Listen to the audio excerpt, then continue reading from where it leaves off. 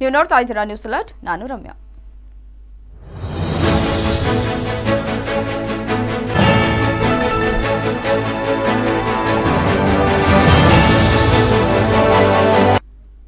ಮೂವರು ದುಷ್ಕರ್ಮಿಗಳು ಸೇರಿ ಒಂದೇ ಬೈಕ್ನಲ್ಲಿ ಬಂದು ಲಾರಿ ಚಾಲಕರ ಮೇಲೆ ದಾಳಿ ಮಾಡಿ ಹಲ್ಲೆಯನ್ನ ನಡೆಸಿ ಹಣ ವಸೂಲಿ ಮಾಡಿರುವಂತಹ ಪ್ರತ್ಯೇಕ ಘಟನೆ ಗದಗದಲ್ಲಿ ನಡೆದಿದೆ.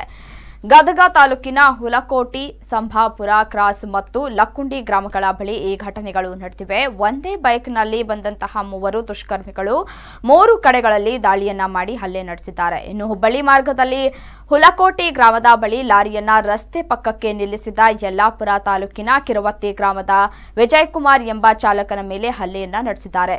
ಸದ್ಯ ಚಾಲಕ ವಿಜಯ್ ಕುಮಾರ್ ಗಂಭೀರವಾಗಿ ಗಾಯಗೊಂಡಿದ್ದು ಕಣ್ಣಿಗೆ ಬಲವಾದ ಪೆಟ್ಟು ಬಿದ್ದಿದೆ. ಸಂಬಾಪುರ ಕ್ರಾಸ್ ಬಳಿಯೂ ಲಾರಿಯ ಗಾಜು ಒಡೆದ ದುಷ್ಕರ್ಮಿಗಳು ಚಾಲಕ ಜೀವನ ಸಾಬು ಎಂಬುವವರ ಮೇಲೆ ಹಲ್ಲೆಯನ್ನ ನಡೆಸಿ ಹಣವನ್ನ ಮತ್ತು ಮೊಬೈಲ್ ಅನ್ನ ಕಿತ್ತುಕೊಂಡಿದ್ದಾರೆ. ಇದೇ ಗ್ಯಾಂಗ್ ಲಕ್ಕುಂಟಿಯ ಬಸ್ ನಿಲ್ದಾಣದ ಹತ್ತಿರವು ಮತ್ತೊಬ್ಬ ಲಾರಿ ಚಾಲಕನ ಮೇಲೆ ದಾಳಿಯನ್ನ ಮಾಡಿದೆ. ದಾಳಿ ವೇಳೆ ಚಾಲಕ ಕಿರಿಚಿಕೊಂಡಿದ್ದರಿಂದ ದುಷ್ಕರ್ಮಿಗಳು ಕಾಲ್ಕಿತ್ತಿದ್ದಾರೆ ಗಾಯಗೊಂಡಿರುವಂತಹ ಚಾಲಕರಾದ ವಿಜಯ್ ಕುಮಾರ್ ಹಾಗೂ ಜೀವನ ಸಾಬ್ ನಗರದ ಏನು, ಜಿಮ್ಸ್ ಆಸ್ಪತ್ರೆಯಲ್ಲಿ ಚಿಕಿತ್ಸೆಯನ್ನು ಪಡೆದುಕೊಳ್ತಾ ಇದ್ದಾರೆ.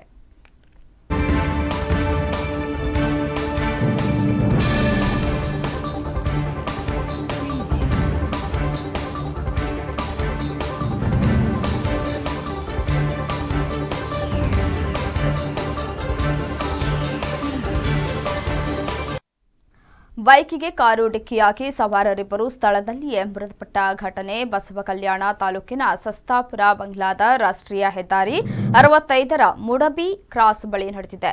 ಸದ್ಯ ಇದೇ ತಾಲೂಕಿನ ಗೌರ ಗ್ರಾಮದ ಚನ್ನಬಸಪ್ಪ ಚೆಟ್ಟಪ್ಪ ಹಾಗೂ ಉಮರ್ಗಾ ನಿವಾಸಿಯಾದ ಬಾಲಾಜಿ ಘಂಟೆ ಘಟನೆಯಲ್ಲಿ ಈ ಏನು ಮೃತಪಟ್ಟಿರುವಂಥದ್ದು. ಇನ್ನು ಲಾರಿ ಉದ್ಯಮ ಸಂಬಂಧದ ಬಂಗ್ಲಾ ಬಳಿಯ ಆಟೋ ನಗರಕ್ಕೆ ಆಗಮಿಸಿ ಮರಳಿ ಗೌರ ಗ್ರಾಮಕ್ಕೆ ತೆರಳುವಾಗ ಮುಡಬಿ ಕ್ರಾಸ್ ಬಳಿ ಹೈದರಾಬಾದ್ ಕಡೆಯಿಂದ ವೇಗವಾಗಿ ಆಗಮಿಸಿದ ಕಾರ್ ಡಿಕ್ಕಿಯಾಗಿ ಅಪಘಾತ ಸಂಭವಿಸಿದೆ. ಈ ಕುರಿತು ಸಂಚಾರಿ ಪೊಲೀಸ್ ಠಾಣೆಯಲ್ಲಿ ಪ್ರಕರಣ ದಾಖಲಾಗಿದೆ.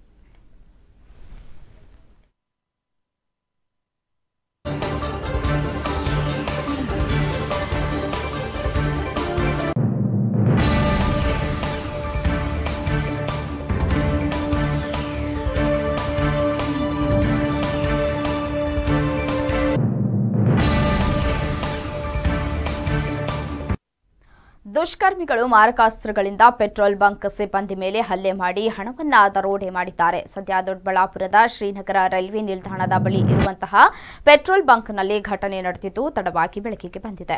ಇನ್ನು ಡಿಸೆಂಬರ್ ಹತ್ತೊಂಬತ್ತರ ತಡರಾತ್ರಿ ಘಟನೆ ನಡೆದಿದ್ದು, ಆರು ಮಂದಿ ದುಷ್ಕರ್ಮಿಗಳಿಂದ ದರೋಡೆ ನಡೆದಿದೆ. ಹೆಲ್ಮೆಟ್ ಹಾಗೂ ಮಂಕಿ ಕ್ಯಾಪ್ ಧರಿಸಿ ಲಾಂಗ್ ಮಚ್ಚು ಹಿಡಿದು ಪೆಟ್ರೋಲ್ ಬಂಕ್ ಪ್ರವೇಶಿಸಿದ ಆರೋಪಿಗಳು, ಸಿಬ್ಬಂದಿ ಹಾಗೂ ಕ್ಯಾಶಿಯರ್ ಮಂಜುನಾಥ್ ಮೇಲೆ ಹಲ್ಲೆಯನ್ನು ನಡೆಸಿದ್ದಾರೆ. ಬಳಿಕ ಕ್ಯಾಶಿಯರ್ ಬಳಿ ಇದ್ದಂತಹ ಇಪ್ಪತ್ತೈದು ಸಾವಿರ ಹಣ ದೋಚಿ ಸ್ಥಳದಿಂದ ಪರಾರಿಯಾಗಿದ್ದಾರೆ.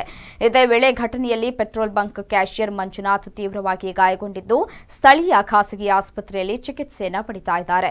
ಲಾಂಗ್ನಿಂದ ಹಲ್ಲೆ ಮಾಡಿ ಹಣ ದೋಚಿರುವಂತಹ ದೃಶ್ಯ ಸಿಸಿಟಿವಿಯಲ್ಲಿ ಸೆರೆಯಾಗಿದ್ದು ಮೈ ಜುಮ್ ಎನಿಸುವಂತಿದೆ. ಸಿಸಿಟಿವಿ ದೃಶ್ಯವನ್ನ ಆಧರಿಸಿ ಆರೋಪಿಗಳ ಪತ್ತೆಗೆ ಪೊಲೀಸರು ಬಲೆ ಬೀಸಿದ್ದಾರೆ.